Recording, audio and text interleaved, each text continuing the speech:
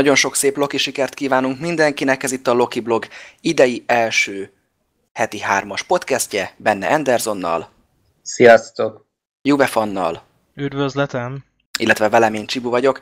Természetesen az, hogy idei a 2017-18-as idényre gondoltam, hiszen az elmúlt szombaton lejátszottuk az első fordulót az NBA-ben, melynek során a mezőkövest hazai pályán sajnos megvert minket 2-1-re. Ugye a Nagyerdei stadionban láthattuk azt, hogy hogyan játszik Herceg Andrással ez az úgymond megfiatalított csapat. Ez nagyon lényeges, hiszen hiába mondták el nagyon sokszor, hogy ez a csapat megfiatalodik, meg a saját nevelések fognak játszani, nem lett akkor a nagy változás, mint amennyit sokan ez alapján vártak volna.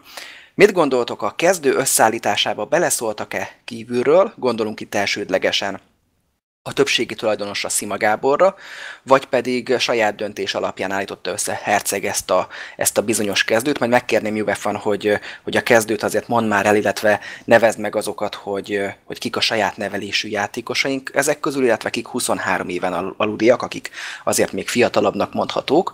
És közben még annyit mindenképpen hozzátennék, hogy ezekre a kérdésekre várjuk a ti válaszaitokat is, akár a cikk alatt kommentben, akár pedig Facebookon, tehát ez bár most úgy tűnik, hogy csak mi hárman beszélgetünk, egyébként a ti véleményeitekre is kíváncsiak vagyunk.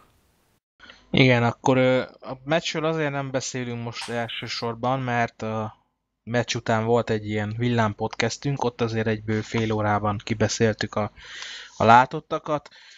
Akkor a kezdő csapatunk az úgy nézett ki, hogy Nagy Sándor, Kuti, Szatmári, Mészáros, Ferenci, Jovanovics, Filip, Tőzsér, Sós, Holman, Takács, és csereként pályára lépett ugye Könyves, Mengoló, és segítsetek, hogy Tisza Tibi. Tisza, igen. Ugye a saját nevelés a, a kezdők közül az, az Kuti, Szatmári, Ferenci, Sós, illetve Tőzsér, ez ugye öt ember a 11-ből, a cserék közt még Tisza ö, számított így, tehát 14-ből 6 saját nevelés. Ezt ugye már szintén kibeszéltük, az átlag életkor is magas volt, 28 év, ö, úgyhogy semmilyen újítás, meg fiatalítás nem volt itt igazából. Válaszolva a kérdésre, bocsánat Anderson, mindjárt neked is megadom a szót, válaszolva a kérdésre, egy igennel vagy nemmel beleszólt, szerinted Szima Gábor a kezdő összeállításába, vagy nem, akár százalékot is mondhatsz? Jó, hát biztos, hogy meg fogjuk kapni, hogy már megint mit kavarunk, meg hogy szokták mondani, hogy mit csinálunk mi.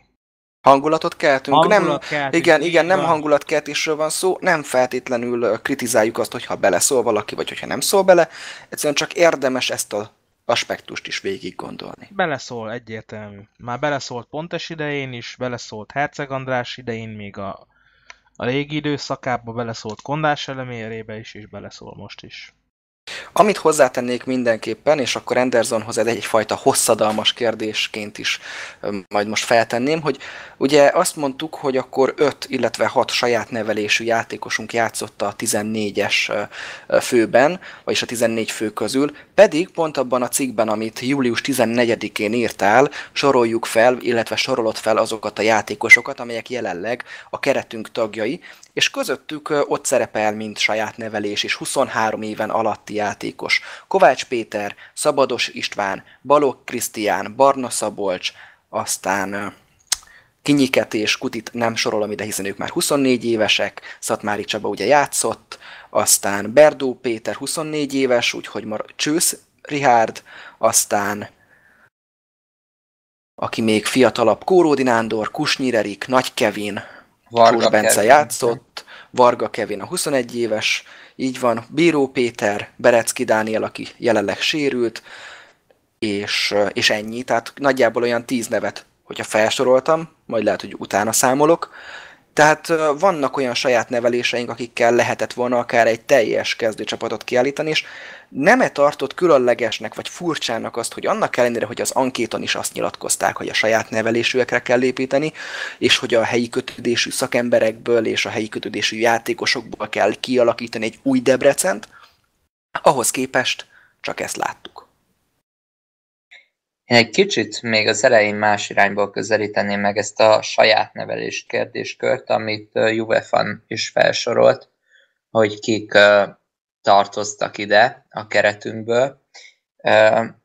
Ugye ott van például Tisza, ott van Tőzsér, akikre azt mondjuk, hogy saját nevelés, nyilván ez így is van, de mégis csalóka, mert hogyha a fiatalitásról beszélünk, meg arról, hogy az elmúlt évek alapján mennyire sikeres az utánpótlás képzésünk, akkor nyilván Tisza és Tőzsér nem mérvadó, mint saját nevelés. Abból a szempontból lehetnek azok, hogy helyi kötődés, meg, meg ugye a, erre szokták sokan azt mondani, hogy a mi kutyánk kölyke, de egyébként meg rajtuk sokszor egyébként annyira nem is lehet érezni, mindegy.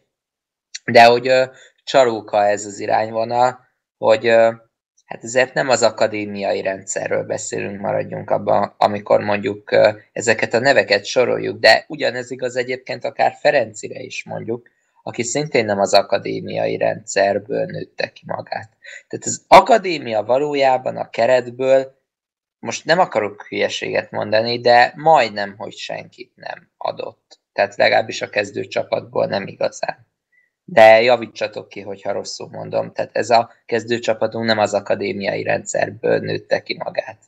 Igen, azért is csalók egyébként, mert maga az akadémia az ugye 2013 körül ö, kezdett el működni, tehát azóta még azért olyan sokan ö, nem értékel azt a szintet, azt az életkort, hogy még ö, onnan indulva ö, felkerüljenek a, az első csapathoz. Talán Balog Norbi volt az egyetlen eddig, aki elérte ezt a, ezt a szintet, de való igaz, hogy jelenleg akik, akiket látunk, azok közül a keretből, a nagyon bő keretből maximum Kusnyira mondhatjuk azt, de ugye ő is azért nem olyan régóta van még itt. Hát vagy esetleg még koordinándorra. Visszacsatolva az eredeti... Ki, ki esett egyébként a Pixisből érezhetően. Hát most ez bárkire lehetne mondani igazából, mert most ugye visszautalok az elő, előző kérdésre, tehát annak ellenére, hogy van 10-12 bevethető 23 év alatti játékosunk, annak ellenére mégis egy ilyen kezdővel álltunk ki. Nem-e különös, tehát most mi, mi lehet ennek az oka?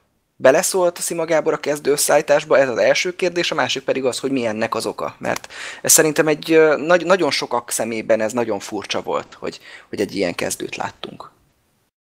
Benne van az is egyébként, hogy egyszerűen nem merte Herceg András bevállalni, hogy rögtön bedobjon fiatalokat, de én nem feltétlenül érzem ezt, mert simán bemerte ezt vállalni az utolsó fordulóba éles meccsen a Diózső ellen, ott egy nagy Kevin bedobott. Igaz, hogy csereként a vége fele, amikor már eldőlt, de már az is bátor húzás volt, hogy egyáltalán a kispadra leültette.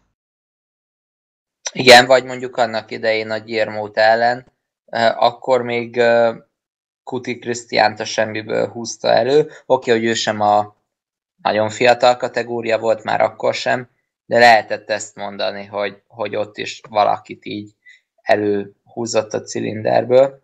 Szóval most az első kérdés, ez a beleszólás, nem beleszólás, erre annyira nem tudnék jó választ adni. Egyébként én is inkább érzem azt, hogy, hogy jó eséllyel ez egy állandó probléma, és és nem lehetne meg, ha most is pont ez lenne a helyzet. Viszont, hogy miért nem játszott több fiatal, talán azért nem, mert jó esélye, aki összeállította a keretet, most vegyük azt, hogy Herceg András, szóval már így is eléggé soványnak érezhette, és nem biztos, hogy NB1-re elegendőnek, akkor meg már valahol nehéz szívvel lehet kihagyni bárkit is. Mert akkor, hogyha kikapunk, jön az a kritika, hogy, hogy de hát ő miért maradt ki. Tehát ez a baj, hogy egyébként a debreceni közönség hiába mondja mindig el azt, hogy igény van a fiatal helyi tehetséges játékosokra, nagyon sokan hogy ö, vegy, emlékezhetünk Balog Norbira is, tehát Balog Norbinál is rengetegen az elején ö, nagyon kritikusak voltak. Azért ö, neki is kellett idő, hogy felvegye a ritmust, és, ö, és ezért ott jócskán ment a kritizálás, emlékszem rá. Szóval ez a gond egyébként, hogy a közönség sem feltétlenül jól áll ehhez a kérdéshez sokszor, ezt azért én önkritikusan mondanám, de ettől függetlenül meg be kéne vállalni a fiatalitást sokkal jobban, hogyha már egyszer ezt a kényszerutat választotta a klub. Én nem érzem feltétlenül így, hogy, hogy a közönség adott kritiz, kritikussága miatt. Volt ez így, volt ilyen időszak, csak akkoriban még a bajnoki címén meg Így a, van, így van. Pályára harcoltunk, most azért szerintem mindenki tisztában van vele, hogy ez merész álom, és így sokkal inkább elnéznék a, a fiatalok csetlésbotlását, meg bakiait, mint az ilyen nagy sem. Így van, tehát a jelen helyzetben, pláne hogyha azt vesszük alapul, hogy a csapból is azt volt az elmúlt három héten, hogy új alapra, alapokra kell helyezni a debreceni labdarúgást, saját nevelésűekkel kell játszanunk, helyi kötődésűekkel kell játszanunk.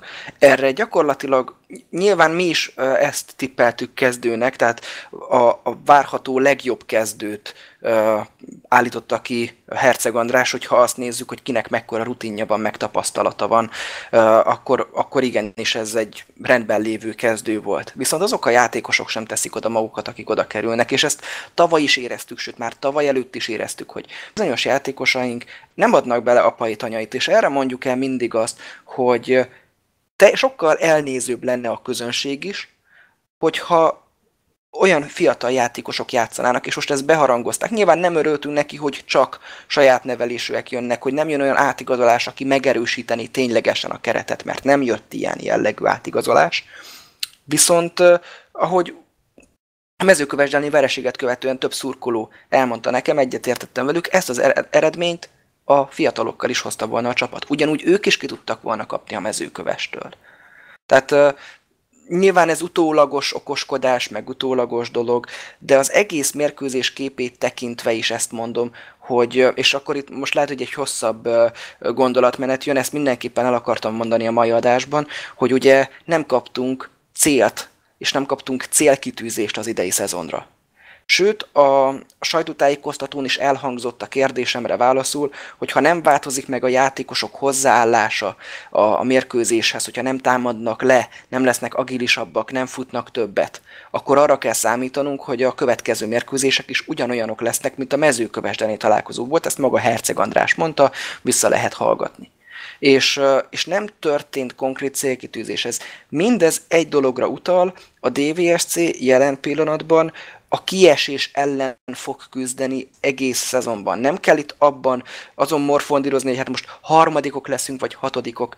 Be kell látni, minden kedves szurkolónak üzenném, így most július 17-én éjfélhez közel, hogy lássátok be, hogy a DVSC a tavalyi évét nem egy botlással érte el, hogy kieső helyen volt, nem a külföldi edző miatt érte el, hogy kieső helyen volt, hanem azért érte el, mert évek óta a keretünk sokkal-sokkal gyengébb lett, mint a korábbi években volt legyengült, folyamatos gyengülésen ment keresztül, és elértünk oda, ahol most vagyunk. És ebben az évben is a kiesés elől fogunk menekülni.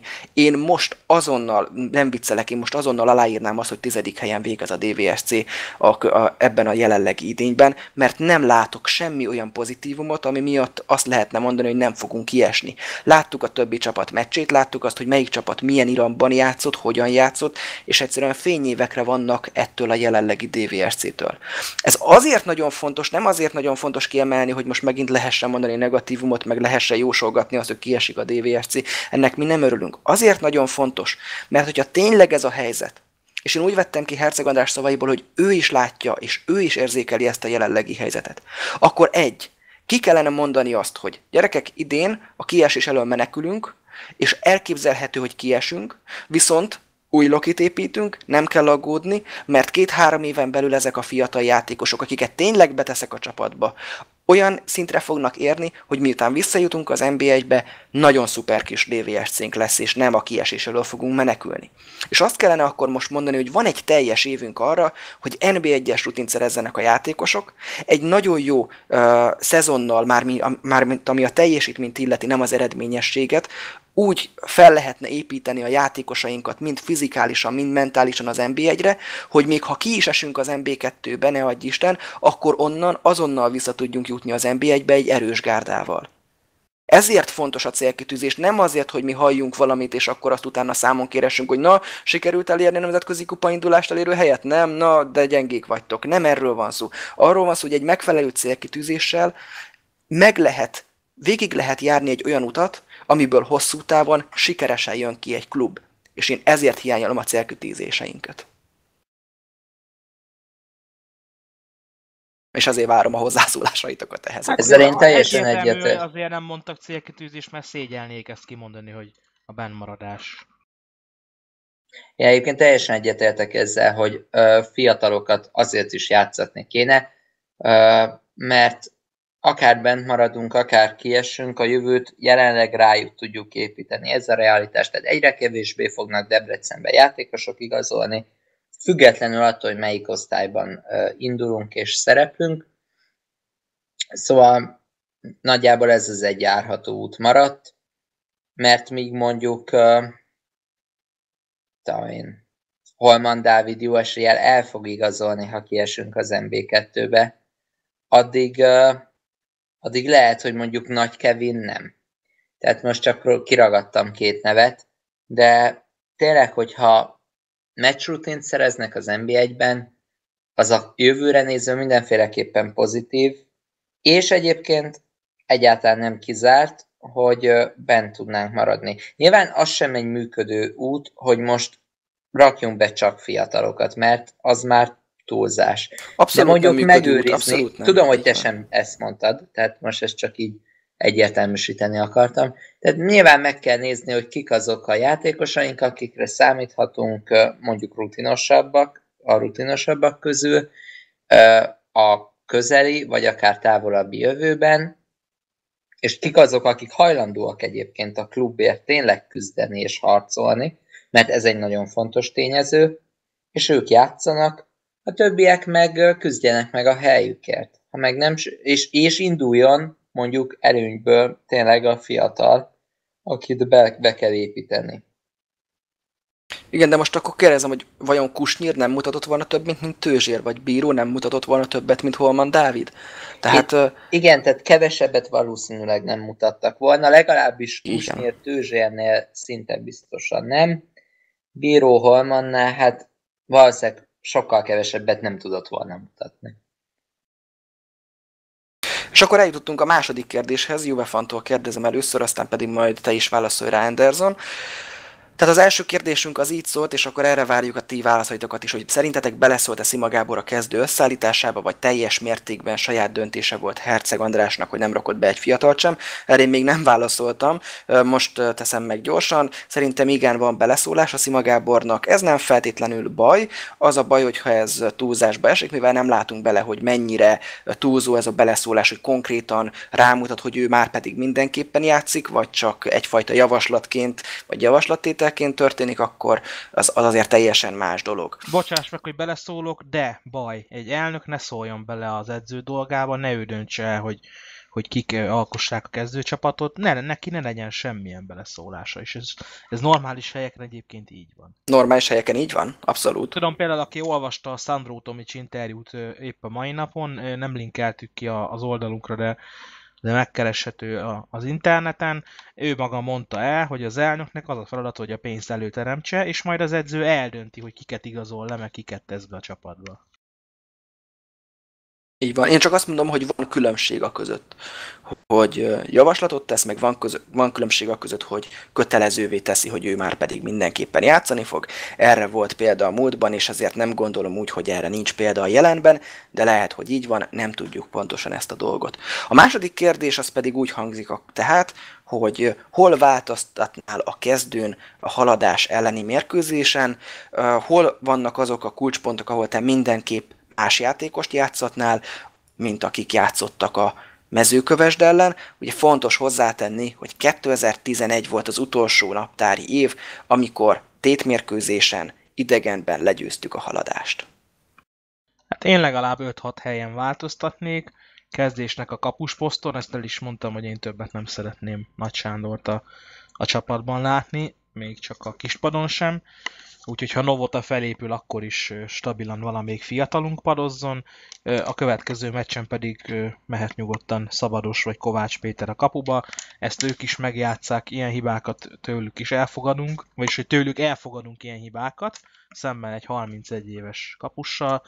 Úgyhogy egyrészt kapusposzt, aztán Kuti nálam leszerepelt, tehát lehet nyugodtan váltani, ezt egyébként be is harangoztam, hogy ő fog valószínűleg előnyel indulni majd bényeivel szembe. Azt gondoltam, hogy az első rosszabb meccs után lehet változtatni, hát itt van az első rosszabb meccs, úgyhogy bényei mehet a kezdőbe. A Szatmári Mészáros páros lehet, hogy nem bántanám, bár lehet, hogy kipróbálnám kinyiket, pedig annyira nem vagyok oda érte, de lehet, hogy kipróbálnám majd egyszer. Ferenci helyére mehetne Barna Szabolcs, Ferenci mehetne egy sorral följebb, és akkor a középpályán is lehetne variálni, Filip vagy Tőzsér helyén, Jovanovicsot betenni középre, és akkor Sós és Ferenci lenne a széleken. Uh, hát Holmant is szívem szerint kihagynám, de nyilván nem fogják kihagyni, mint ahogy Tőzsért sem. De, de akkor is minimum kapusposzt, jobb hátvéd, bal hátvéd, és jobb szélső, amin, amin változtatnék. Tehát ilyen 4-5 változás biztos, hogy lenne nálam. Én elég hasonlóan gondolom. Én most gyorsan összeírtam magamnak egy, egy lehetséges kezdőcsapatot, amit én szívesen megnéznék. Nem azt mondom, hogy feltétlen eredményes lenne, de több értelmét látnám. Ez a, a jó, most abból indultam ki, hogy Novata mondjuk még nem épül fel.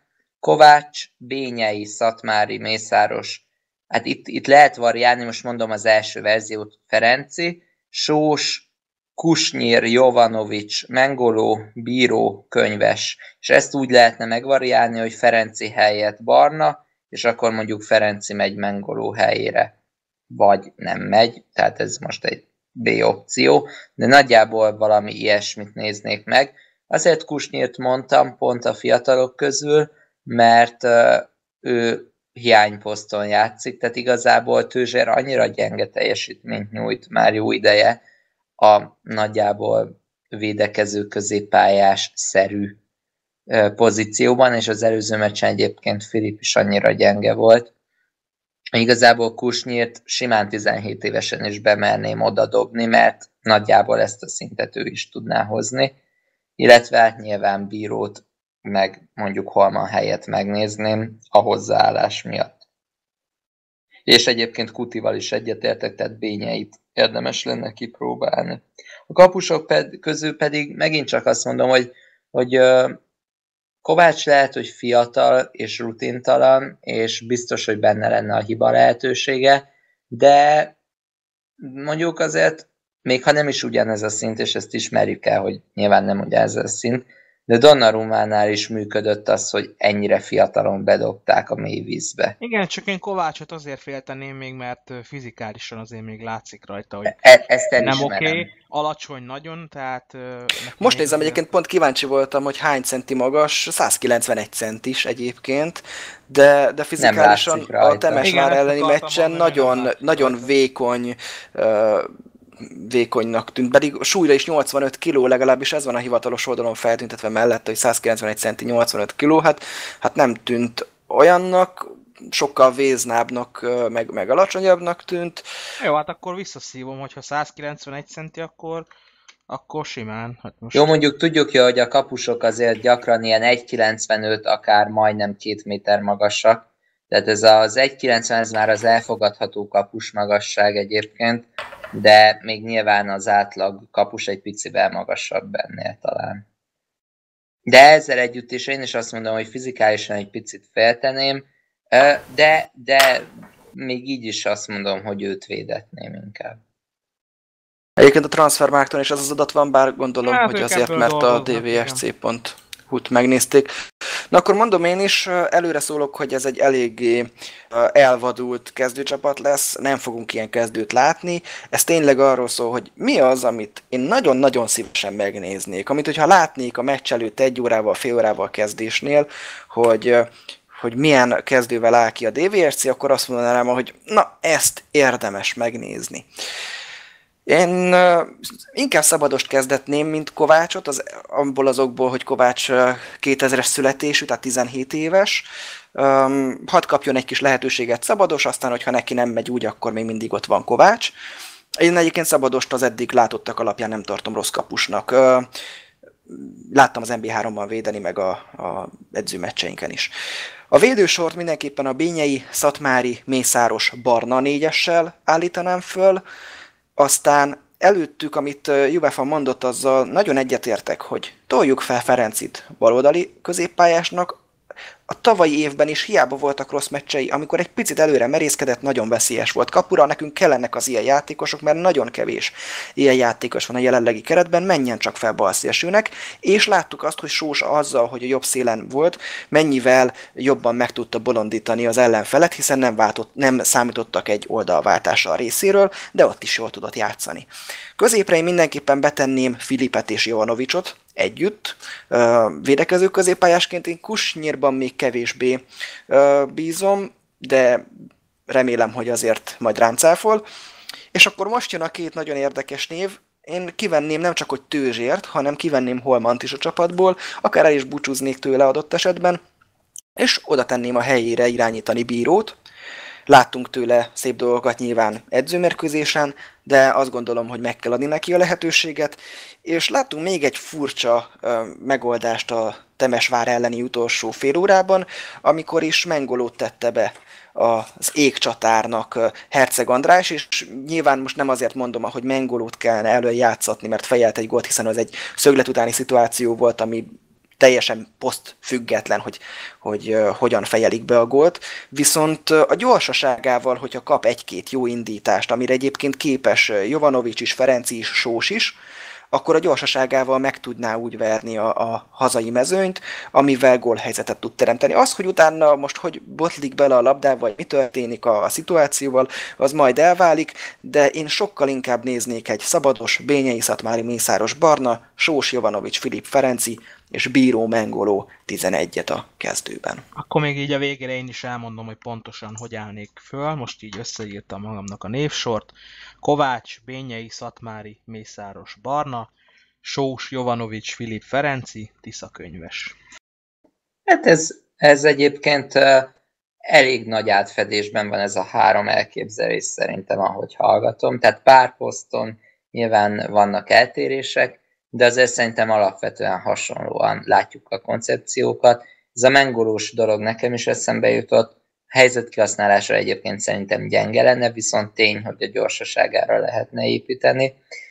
Én egyébként, ha már fiatalokról van szó, eléggé sajnálom, hogy kiskerekes így eltűnt hirtelen. Állítólag a Budafoknál volt ő, vagy van ő próbajátékon. Azért egyszerűt is szívesen megnéztem volna, hogy mire képes. Én pedig még adott esetben Tiszát tudom elképzelni a saját csapatban. Bocs, hogy most nem konkrétan rád uh, reagáltam, vagy kiskerekesre, nem tudjuk, hogy, hogy mire lett volna ő is képes. Hát ez lett volna a második kérdés, és a harmadik az uh, szerintem nagyon rövid lesz, úgyhogy hamarosan búcsúzunk is. A harmadik kérdés az, szerintetek fogunk-e még igazolni augusztus végéig? Szerintem fogunk, majd itt a végén fogunk kapkodni, mint ahogy tavaly is. Egy csatát szerintem akarunk még hozni, adott esetben ugye Vidmárt. Lehet, hogy még hozunk egy belső vérőt is, de szerintem itt a sok vereség, meg az, hogy nem nyerünk egy meccset se, az meg fogja hozni a hatását, és fogunk igazolni. Vidmárhoz egy gondolat. Szerintem itt már nem fogjuk leigazolni. Az abszolút szubjektív vélemény, nincsen semmilyen információ kezemben, hogy ezt mondom, de annyit próbázott itt, és olyan régóta itt van, hogy ha annyira le akartuk volna igazolni, akkor már régen megtettük volna. Ha pedig folyamatosan rosszul megy a csapatnak, és szükség lenne rá, az pedig Vidmár irányába tolná el azt, hogy ő várná jobb helyzetben a, azt a bizonyos alkudozást, és simán még többet kérne azért, hogy itt játszon, annyit pedig nem fognak neki adni, tehát nem hiszem, hogy Vidmárt leigazoljuk. Egyébként sem látok benne fantáziát.